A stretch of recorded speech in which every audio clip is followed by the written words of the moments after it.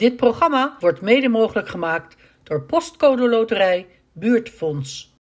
180! Zo leuk hè, met, met, met verslaggeving bezig zijn en zo. Jullie zullen wel denken, waar staat ze nou weer? In een café? Nee hoor. Ik sta bij eh, een aanstormend talent thuis. Een darttalent. En over wie heb ik het dan? Ik heb het over niemand minder dan Dylan van Lierop. Dylan van Lierop is 14 jaar en heel jong begonnen uh, met darten. Hij heeft het op 10-jarige leeftijd ontdekt, eigenlijk door zijn vader. En uh, al gaandeweg kwam hij erachter dat hij best wel aanleg heeft voor uh, darten. En ja, momenteel doet hij eigenlijk niets liever meer dan dat. En we gaan met hem praten, want hij heeft heel veel erover te vertellen. En hij kan ons heel veel laten zien. Dus kijk mee. Nou, Dylan. Hallo. Daar staan we. Ja, zeker. Hè? Wat fijn dat we bij je langs mogen komen. Ik uh, vind het een uh, ik ben, hele eer. Ik ben een beetje onder de indruk uh, van alles wat je ons hier laat zien. Ja. En ik, ik denk dat de kijkers ook enorm onder de indruk zullen zijn van wat deze meneer hier naast mij tot nu toe al allemaal gepresteerd heeft. En dan gaan we eens even kijken op welk gebied dat is. Dylan, uh, nou ja, je kleding verraadt het eigenlijk ja. al een beetje. De mensen die veel op tv naar de toernooien kijken, die weten meteen dat ik tegenover ja. een darter sta. Hè? Ja, dat is zeker waar. Dylan, jij doet al hoeveel jaar aan dart? Uh, Darts? Of dart ben... gooien, hoe noem je het? Darten. Darten. Darten. Ja. Hoe lang dart je al? Ik ben op mijn tiende ben ik begonnen. Op je tiende al? Ja. Hoe, hoe, hoe kwam je daar zo bij? Hoe heb je kennis gemaakt met het darten? Nou, ik ging uh, één keer mee met mijn vader ja? naar, uh, naar een toernooi. En ik zag al die uh, dingen en ik dacht van, nou, dat ga ik eens een keer één keer ook proberen. En sindsdien ben ik ermee doorgegaan en... maar je vader doet ook toernooien? Nee, die, oh, die, doet die ging aan kijken. competitie. Oh, hij doet een competitie. Oh, dus ja. het, het, je hebt het wel een beetje in je genen meegekregen Ja. dan. En, en speelt je vader hoog? Of? Hij speelt in de tweede divisie. Ja? Dat zit een beetje ertussenin. Oké. Het is af en toe echt hoog niveau, maar af en toe is het echt, echt Dat slecht. het weer een beetje... Oh, echt? Echt slecht, Oh, ja. dus hij gaat alle kanten op. Ja. Jij niet, hè? Nou, ik heb af en toe ook wel eh, Een dipje. een dipje. Ja, maar dat mag, hè? Ja. Dat mag. Vaak eh, zeggen ze ook dat je van je dips en van je fouten meer leert Meer leert. dan ja. van je goede prestaties, hè? Dus dat Klopt. hoort er, hoort er echt bij. Ja. Ja. Maar eh, Dylan, ja, want we zijn hier niet natuurlijk gewoon omdat je maar een beetje dart. Want je dart niet een beetje. Je begint echt naam te maken in de dartwereld, hè? Ook al ben je pas. 14. Ja. Ehm, je hebt, eh, zo heb je ons verteld, eh, inmiddels ook zelfs een management. ja, ik heb een management. En die regelen van alles voor jou, hè? Ja, klopt. Wat, eh, wat hebben ze onlangs geregeld? Of wat staat er nog iets te wachten wat ze hebben geregeld voor jou waar je in mee gaat spelen? Ze hebben, tot nu toe hebben ze mijn reis naar Engeland betaald. Want wat moest je in Engeland doen? In Engeland had ik vier toernooien in twee dagen. En dat hebben, ze hebben mijn hotel betaald, mijn inschrijving, de, de reis, dat ik er helemaal naartoe mocht. En over eh, twee weken ga ik eh, weer naar Engeland. En dat hebben ze weer allemaal voor mij eh, betaald. Jeetje, dus zij regelen helemaal alles. Ja. Jij moet daar naartoe en je moet Ja. gewoon zo goed mogelijk gooien. Ja. Nou ben je twee weken geleden ben je naar Engeland geweest. ja. Hoe, hoe is dat gegaan? Nou, dat ging eh, over het algemeen goed. Voor de eerste keer heb ik eh, niet zo'n heel slecht aan gooien. Ehm, niet het gewenste resultaat wat ik eh wou halen. Ja. Maar uiteindelijk toch een goed en leuk een weekendje gehad. Ja, ja, wel tevreden weer naar huis Ja. gegaan. Tevreden. En, en is dan dat toernooi waar je over twee weken naartoe gaat, is dat het verlengde daarvan of is dat weer een heel ander toernooi? Nee, dat, is, dat zijn in totaal zes toernooien. Ja? En dan heb je er twee op één dag. Ja? En als je van die zes toernooien in de top 4 staat, dan heb je een tourkaart voor de JDC. En Ja? dat is een nog hoger niveau. Oh, echt? Ja. En, en welk niveau zit jij nu dan? Ik zit een beetje tussen de Q School van een paar weken geleden en dit niveau. Ja, oh, dus je bent aan het klimmen. Ik ben aan het klimmen, ja. Wat spannend. Ja. Dus er staat ook best wel veel op het spel over twee weken. Zeker. Want en, en als je het dan niet haalt, is het dan wel zo dat je het over een poosje weer opnieuw kunt instappen om weer een poging te wagen? Of is het dan afgelopen? Nee, het is eh, niet afgelopen. Zo'n Q-school is elk jaar. Dus ehm, als ik het over twee weken niet haal, Ja? dan heb ik volgend jaar Weer nog zo'n. Q-school. Oké. En dan als ik het daar weer goed doe, heb ik alsnog eh, mijn tourkaart voor de JDC. Ja. ja, want Engeland is natuurlijk wel het land Ja. van de darts, Van hè? de darts, ja. klopt. Ja, dus, dus daar moet je eigenlijk wel zijn om, eh, om het Ja. allemaal goed te leren. Maar ik, ik neem aan dat je ook veel traint. Ja, ik train eh, bijna elke dag in de avond. Even met mijn vader. Dan staan we hier een partijtje te gooien. En dan Hier gaat thuis mijn in moeder... de kamer. Ja, hier. En dan gaat mijn moeder de score bijhouden. Oh, dus, dan, eh, oh, wij- oh, ik zie dat wij ook moeten spelen. Dylan en Dolly. Ja. Oh, wij moeten go- Oh, ik moet straks een ook gooien. gooien. Oh, dat wordt lachen. Hé, hey, eh, ben je wel verzekerd? Dat, eh, of ben ik wel verzekerd? Daar gaat het eigenlijk meer om. Hé, hey, wat leuk, wat leuk. Dus je Ja. moeder die staat hier steeds en dan gooi jij en dan hoor je Ja. je moeder, de hele buurt horen. eh, 180! Ja? Bijna wel, ja. Valt die vaak?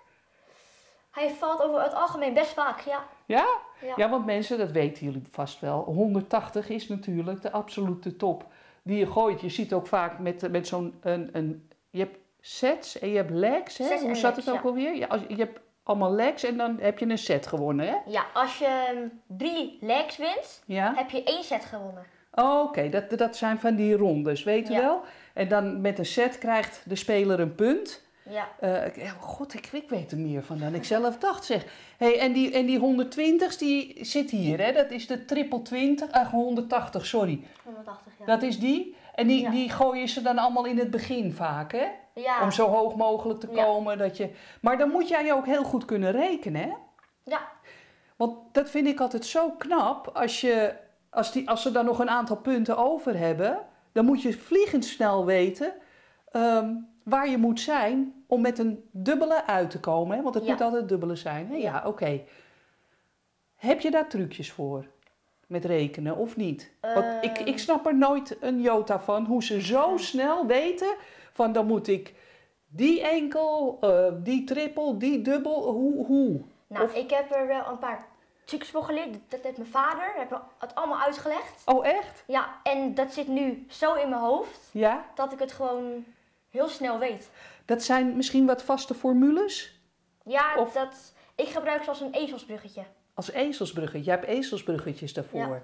Oh, Oké, zie, ik heb altijd al gedacht hoor dat daar iets achter zat. Want dat lijkt me zo lastig. Je staat er onder spanning. Ja. En dan moet je zeg maar, ik noem even wat, 68 punten nog gooien.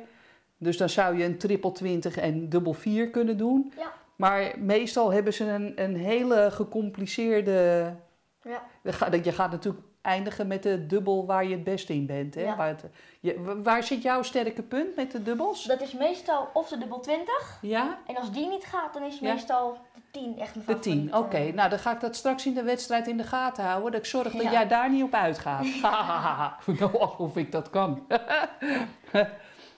ja, en, en eh, dan ga je over twee weken weg. Zit het dan in een vakantie of krijg je eh, vrij van school daarvoor? Nee, het zit. ehm, dit weekend zit volgens mij nog niet in de vakantie.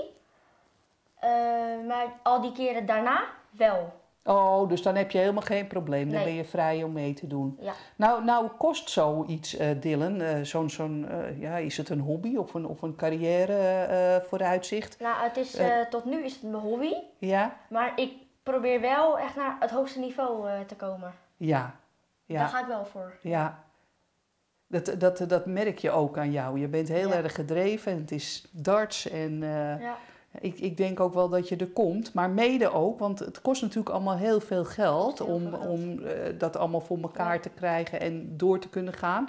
En je hebt ook allemaal sponsors, zie ik. Hè? Want dit is jouw eh dart shirt. Het is een dartshirt, ja. Ja. En je hebt eh, gewoon zeven sponsoren. Zeven sponsors, ja. En we hebben het er net even over gehad. Je hebt ze niet eens allemaal zelf hoeven zoeken. Hè? Nee. Sommigen zijn echt bewust naar jou Ja. toegekomen.